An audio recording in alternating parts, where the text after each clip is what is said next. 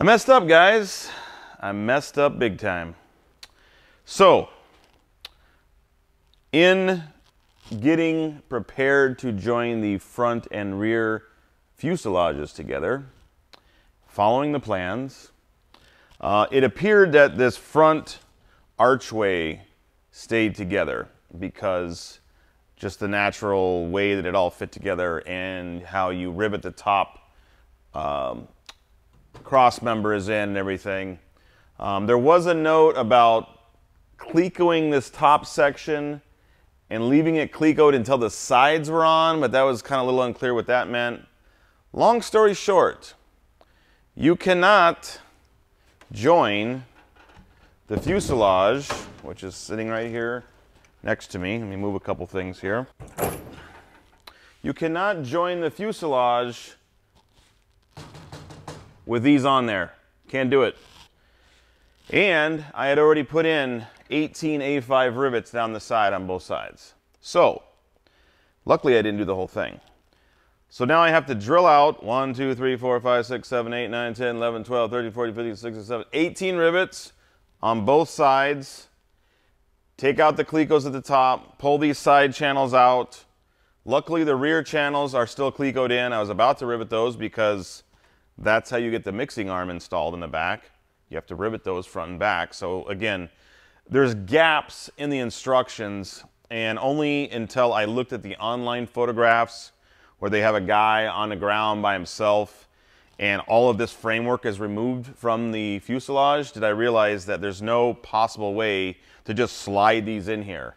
These have to be basically slid in and then the channels wrapped around the angle here after you've inserted them. So, time to start drilling some rivets out.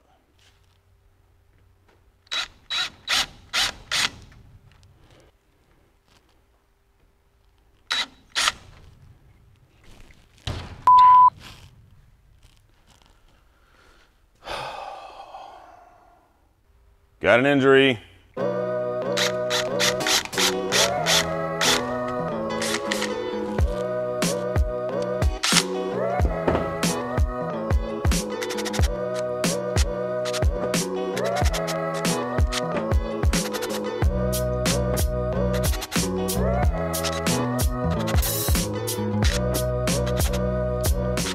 This is only part one of removing the rivet. Luckily, I'm just basically twisting off the heads. I'm drilling in and twisting them off. When I take the channel off, I'll have to clean out all those holes and make sure they're clean on both sides. So it looks kind of easy right now. I'm only doing the half of it.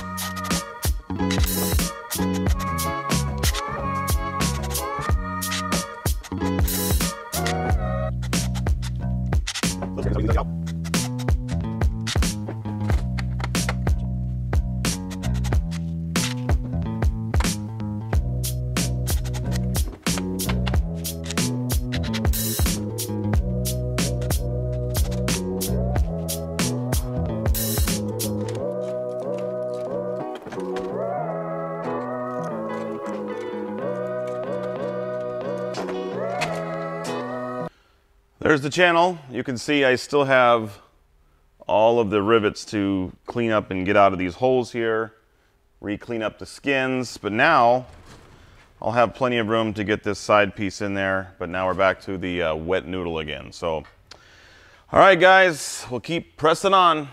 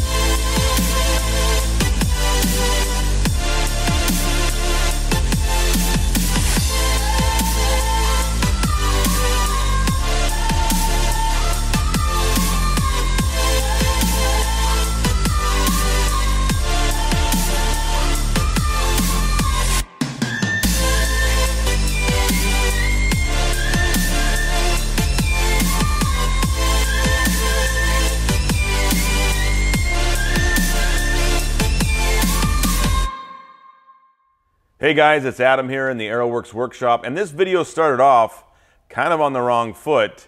Uh, we had some difficulty getting going this week, made a couple mistakes. It happens when you're doing a kit aircraft like this. But when we look at the big picture, it has only been one month since we started the CH750 Super Duty here in the AeroWorks workshop. So I want to give you a few updates. I want to answer a few questions that we got uh, from viewers. First big update is I got a call from Zenith uh, yesterday that the finishing kit will be shipping in the next week or two. So that's exciting. And you may say, well, why do you need a finish kit right now? You're not even halfway done. And that is, the, that is true. But things come in the finish kit that you need, like the landing gear, the tires, the brakes, uh, the brake cylinders that go in behind the rudder pedal. Some of these things Probably should be in the initial kit, but they ship them that way because they keep all the brake components together. I understand that. So we're going to do a full video on that, what comes in a Super Duty finish kit uh, coming up shortly. But just know that we're going to be seeing some big progress here in the next few weeks. I want to answer a few viewer questions. We had some questions uh, on the forums and on the videos themselves. Uh, a simple question. Somebody asked, you know, how big of a workbench do you need or what kind of workbench are you using? I'm actually using what's called, uh, they're made by a company called Bora, and I'll put a link down in the description, but they're, they're called a Speed Horse, Bora Speed Horse, and they hold 1,800 pounds each. I have three of them, and I basically just took a 16 foot 2x4, made two rails, one on the left and right side, and actually repurposed some of the uh, plywood sheeting from the crate and made a surface. It's, it's very level. It's definitely sufficient for building the fuselage on.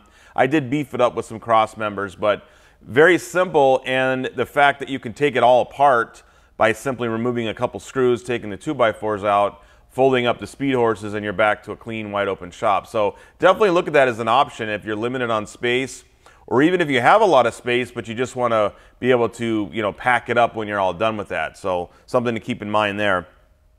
I had a question about the rivet gun, the uh, Milwaukee rivet gun. Again, we're not sponsored by Milwaukee by any means, but uh, when I was looking into purchasing rivet guns uh, when I first started the build, obviously the factory air recommended one. I did purchase that, and, and what I do is I set up two different guns, one for the A4 rivets, one for the A5 rivets. That way I don't have to switch out the head.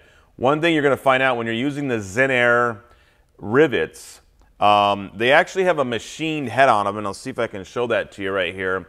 If you look right in the middle, right there, instead of it just being a flat uh, pop rivet head like you might find at the hardware store, Zenith has actually machined those out. So when you put your flat rivet in and you squeeze that rivet, it actually concaves, or I guess that's not concave, but it rounds the rivet and uh, makes a nice tight fit, plus give it some, gives, gives it an aerodynamic uh, look on the outside of the aircraft, which you know will improve speed overall. Uh, as far as the uh, the unit itself, um, you know it's a little spendy. I think they're you know if you buy just the tool by itself, it's a couple hundred dollars, two two twenty, two twenty nine, two forty nine, something like that.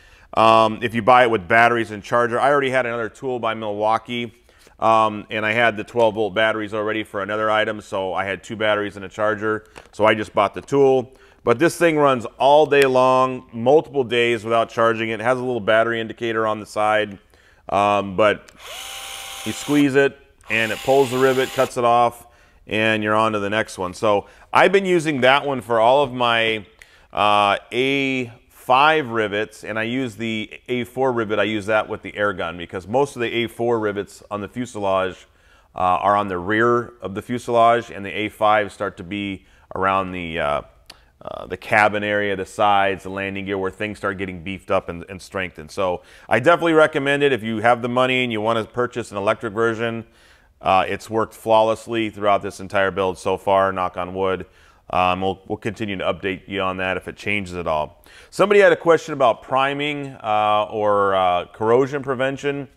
Uh, a couple things. If you watch any of the videos that Zenith puts out on the rudder kits, the rudder workshops they do, the type of aluminum that we're using here is, is corrosion resistant just pretty much by itself. Um, now, if you were to leave a sheet of aluminum out in the, in the sun and weather and rain for 10, 15 years, would it start to discolor and potentially pit? Definitely. Um, but where we plan to keep the aircraft, this hangar will never be stored outside. We don't live in a salty environment. And the fact that all of the pre assembled, if you will, or, or pre attached uh, angle that was put on the fuselage side, sides from the factory, that was all corrosion uh, prevented uh, from the factory. Um, so as far as what I'm doing, anywhere that I feel there's a major stress point or areas that I know are going to be getting wet, like the bottom of the aircraft, the tail skid, those areas that are going to be difficult to get to, we're definitely coating all those with a anti-corrosion primer slash uh, preventative. Um, a lot of the interior cabin stuff, I'm not doing that because the aluminum is fine by itself. I did do it uh, on some of the angle stiffeners on the side because those are exposed to the exterior. So to answer the question of firewall, uh, landing gear areas, and the tail skid area, I'm definitely making sure those are coated, uh, but it's not even necessary. In fact, Zenith even says you don't have to unless you, again, are living on the beach somewhere where you're going to have salt spray water and all that. So that's a personal preference. Some people want to prime and paint every single piece, and by all means do that. Uh, my interior will be painted. Um, I'm not necessarily going to anti corrosion prevent every single piece because it's not necessary. So guys, that's a quick update. Uh, hope you enjoyed uh, what we've covered so far today. Again, you know, one of the things when you're building a kit plane, you have to look at all the resources you have available. And that may not, they may not all come from the manufacturer. Like I said in the previous video, you do get a nice set of plans and you get a assembly guide. I know that's been showed in some other videos, but when you get to some of the components, they just kind of list the parts, but they don't really tell you what to do with them. Um, it's kind of, you kind of have to use that in conjunction with the photos. And um, again, the photos online, some of them are a little dated and they may not even be a super duty, but you get the gist of what they're trying to show you. And unfortunately, I overlooked one of those, and that was when I was doing that cabin frame. Uh, I went ahead and riveted the sides when I should have left them off. Not a big deal. Luckily, I was able to remove the entire piece and clean it up. If I had to just remove one rivet, it'd be trickier to get in there and clean that out. But since the piece was coming off anyways, it was very easy to just pull the rivets out, drill them out, clean them up, and we're all back in, in business. So uh, we're going to continue working on um, finishing up the interior this week, or next week, I should say. Uh, we'll be finishing the firewall. So right now it's just all Clecoed together, but we're going to get that primed and painted and the whole, whole shebang, get that put on. Uh, and then we'll be waiting for that finish kit to come so I can finish the rudder pedals and prep and get this thing on landing gear so that we can then remove it from the table and start working on the horizontal stabilizer and or the wings. So we're to decide on where we want to go with that uh, coming up soon. So hey guys, I appreciate you watching. Thanks for uh, tuning in. Please share and like the videos. Again, you know, we've We've been known, Aeroworks been known in the drone world for many years, but uh, building airplanes has not been our forte, or at least, you know, up until now. So if you can share the video, tell people about the video. We'd love to have more views and like to see more people watching the video. So I appreciate those that have been tuning in. Keep sending those questions in, comments, recommendations. We'll take all of them. Uh, until next time, guys, it's Adam with Aeroworks, and we'll see you next week.